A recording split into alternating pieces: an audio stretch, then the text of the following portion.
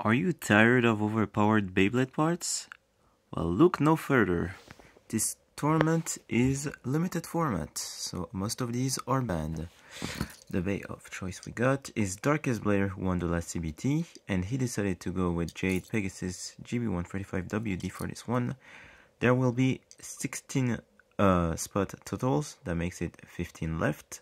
So you can comment below your limited format combo the limited format rule set will be in the description and the entrance as well. Good luck to everyone and uh, yeah, good luck to everyone.